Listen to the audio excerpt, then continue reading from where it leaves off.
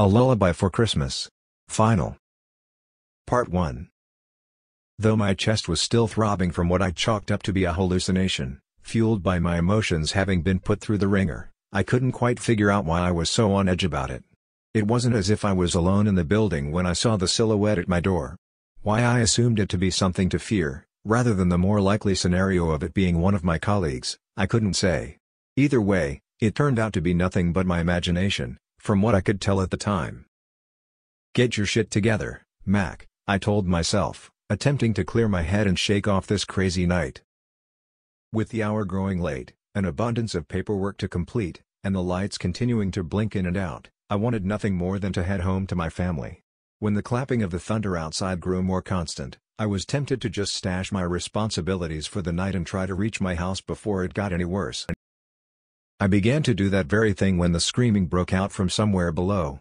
Being fully aware that the sounds came from the holding cells, which currently housed only one occupant, I headed straight to the security room to get a read on what was happening.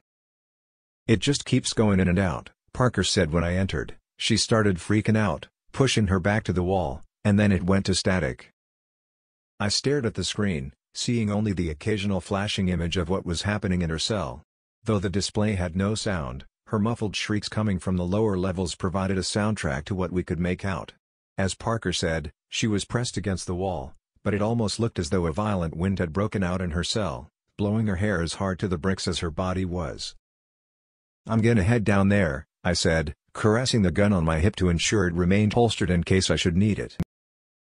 Want me to come with? Parker asked. Nah, you keep an eye on things up here.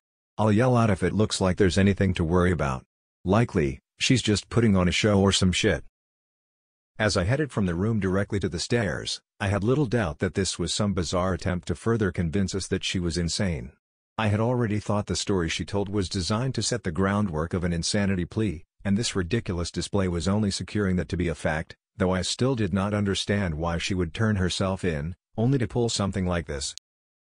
When I reached the lower level, the woman's screams were so loud and gut-wrenching, I could barely believe that anyone was capable of producing such a sound.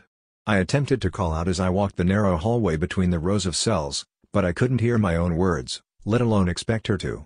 With the blinking of the lights and the trembling floor beneath my feet, I feared we may be experiencing far more than a simple storm beyond these walls. Though the shuddering ground made it difficult to keep a constant pace, it didn't take me long to draw close to the room we had Lullaby stored in, but as I closed that final gap between us, the woman's agonizing wails suddenly stopped. My ears were still ringing from the sheer volume of her horrendous howls, even with the only sounds remaining being those of the still shuddering building. I almost felt my legs give out when I finally reached the cell I was seeking the one that no longer held the murderer I had locked away inside only an hour or so ago. It was as though some sort of exit had opened in the center of the room, like a rectangular, door-shaped hole, erected in between realities, as bizarre as that sounds. It wasn't that alone that caused my extremities to weaken, but the pool of blood that was smeared across the floor in the direction of the entrance to somewhere else. While I gazed at this puzzling and grotesque sight, something else began to register in my frenzied mind. I could feel eyes upon me not from the strange and eerie gap in reality, but from the opposing side of the cell. When I turned to see the flickering, red and orange, glowing eyes of the man who sat perched upon the cot against the other wall, I finally lost the fight to remain standing. He looked like some sort of feral beast his long, blonde hair hanging in front of his face as he gazed back at me, with that piercing illumination burning into my retina. As he tilted his head from one side to the other, I could only stare back, transfixed by this haunting individual. The gray, pin-striped vest and matching pants, the white shirt with the sleeves rolled up to reveal pale and toned forearms. Even the polished, black shoes seemed completely out of place, compared to that beastly look in his otherworldly gaze. While we continued to stare at one another, I feared that I may be his next victim before he darted so quickly from the cot, I could barely even register it. He just shot towards that door-shaped opening, which sealed itself back shut the second he crossed through, leaving only silence and a smeared puddle of crimson gore in its wake. In that instant, though I didn't quite notice at first, the storm outside fell still. The lights flickered no more, nor did the ground and walls shudder. When I would eventually pull my eyes away from the ghastly sight of the vacated cell, my still shivering legs guiding me back to the floor above, I would see that the rain had stopped as well. No lightning. No thunder. The ground outside didn't even look wet. When my senses began to return, I headed back to the security room to check in with Parker to see if he had witnessed any of the maddening events I had seen. After finding the room empty, leaving me to assume he had headed to the bathroom, or something else far more rational than what my erratic thoughts were attempting to seek out, I took a walk around the office, to find no trace of anyone. After a good 10 or 20 minutes of inspecting vacant rooms and deserted hallways, I thought it best if I headed out for the night as well, as I had to assume everyone had bailed out during the storm. Rational explanations as though that was even a concept anymore. It wasn't until I headed back to my office, that I once more felt my legs turning to gelatin. Though I hadn't seen his face before, given the hair and glowing eyes blocking my view, I instantly recognized the man sitting in front of my desk when I entered the room. He still wore the pinstriped vest and pants, now accompanied by a matching jacket. His hair was neatly pulled back and tied into a braid, allowing me to see the surprisingly gentle and friendly expression on his face. I didn't speak a word as I strolled around my desk, taking my seat behind it. I just stared back at the man who regarded me with a small half-smile on his face not arrogantly or mockingly, just pleasantly, in a way. You mind? He asked after fishing a pack of cigarettes from the inside pocket of his suit jacket. Normally, smoking is not permitted in the building, but I would be lying if I were to claim I had never indulged after a trying day. I just pulled open the bottom drawer of my desk, fished out the ashtray I would use for emergencies, and slid it across the tabletop, not breaking my gaze from the stranger. Thanks, Gov, he said, giving me a wink with the click of his tongue, lighting up his smoke.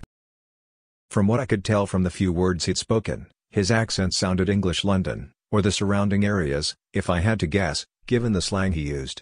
Of course, I was well aware he likely did not originate from anywhere across the pond, nor on this earth, for that matter.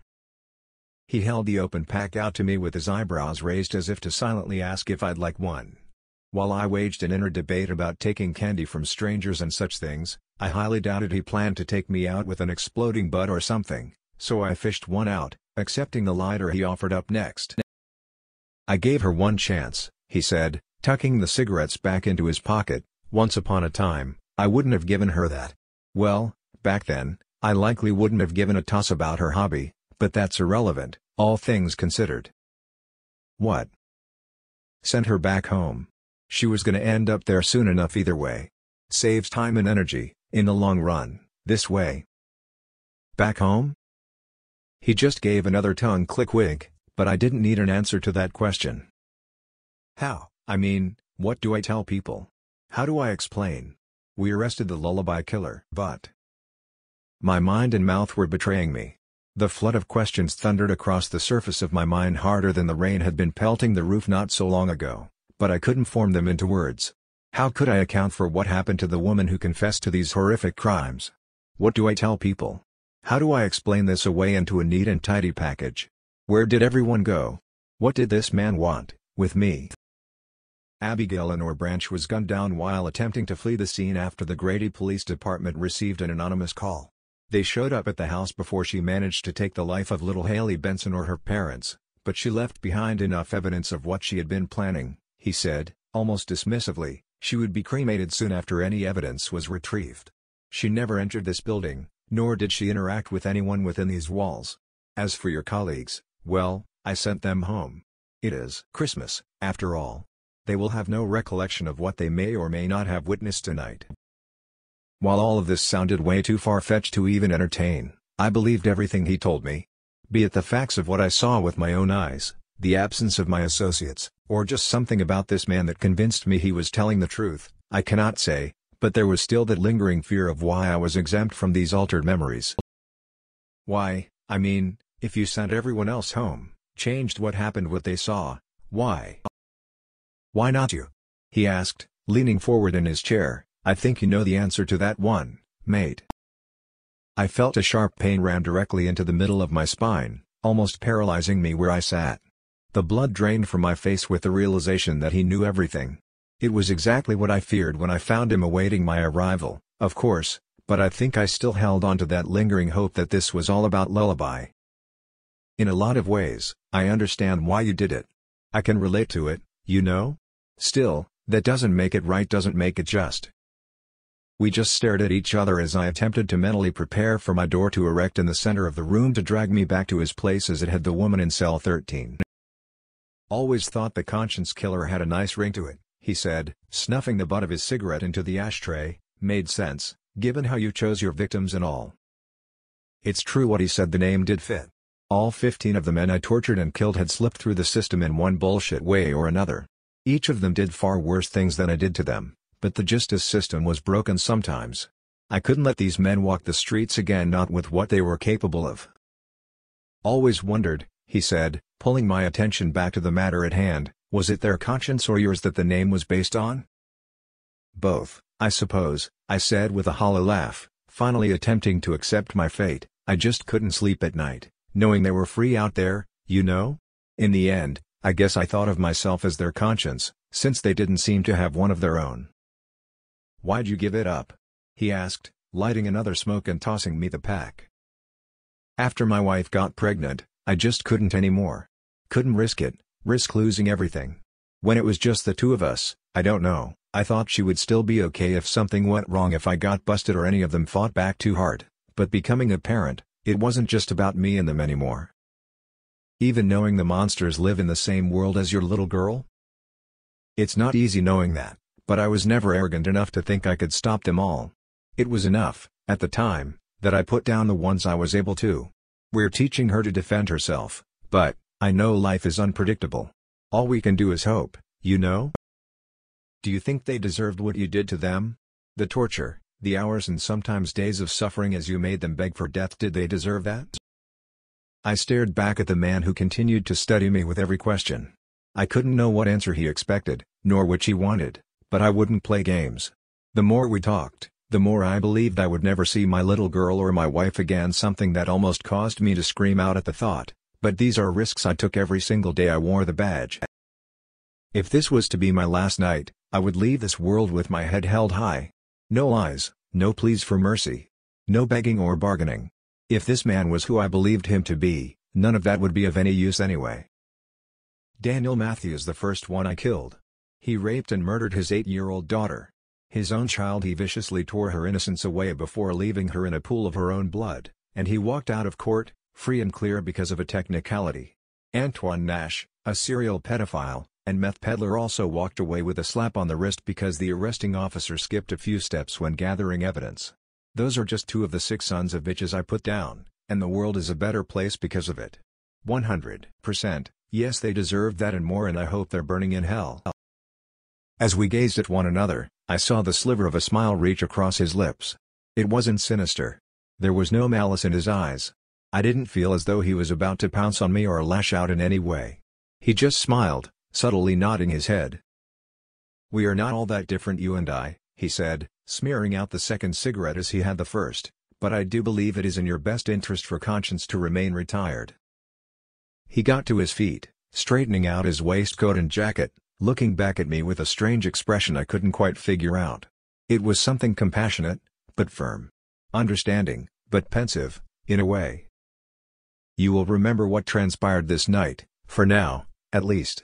After a time, these memories will linger, though not in a way you can so casually revisit. It will all still be there, but buried away. You will not be able to recall my face, nor the conversation we shared, but there will be excerpts in your dreams on occasion more so when those old tendencies begin to rear their little heads. As he turned from me to head towards the door to my office, I was certain this was just a trick something to set me at ease before the rug was pulled from beneath me, but that didn't happen. You're a good man, Clayton McKenzie, he said, stopping with his back to me as he stood in the doorway, but should that ever change, we shall most certainly meet again. With that, he walked out of my office, rounding the corner and out of view. I just sat there, frozen in place, staring down at my trembling fingers. After a moment, I got to my weakened feet and followed the course the stranger had taken, seeing no trace of him. Though my mind was still reeling, I shut off the lights and headed to my car. When I got home, I embraced my wife far more enthusiastically than I think I ever had before. I walked to my daughter's bedroom, where she lay sleeping. I just sat there for a time, watching her eyes dart around beneath their lids, feeling grateful tears leaked down my face. While I sat in the darkness of the room, I swore to myself that I would never allow the conscience killer to reawaken that I would never risk losing this most precious gift. When I awoke the next day, I wrote all of this down before it would inevitably be buried away as the stranger warned. The news reported the death of Abigail Branch at the hands of the Grady Police Department, as well as the truth about what she was in life. This, along with the glee on my little girl's face as she unwrapped all of the presents provided by jolly old Saint Nick, by the way of her loving parents, caused my heart to burn with how content I felt. Some weeks later, I handed in my resignation. Regardless of the years I had spent on the job, I was not fit for it anymore. Not to mention, I thought it best to remove any temptation to return to habits that were not good for me. My wife supported me while I took some night classes to earn an engineering degree, which led to a much more stable working environment for both my health and sanity. As time passed as the stranger said, I forgot most of what happened that bizarre night, but I do still see excerpts in my dreams, as he predicted. Though I remain true to the promise I made to myself back then that I would never return to my old passion project, I'm grateful for the meeting I now only revisit in my sleep. One thing I can honestly say regardless of what came before or what may still be around the corner, I will never receive a gift as life-changing as the one I got that Christmas Eve the night after which two murderers would never kill again.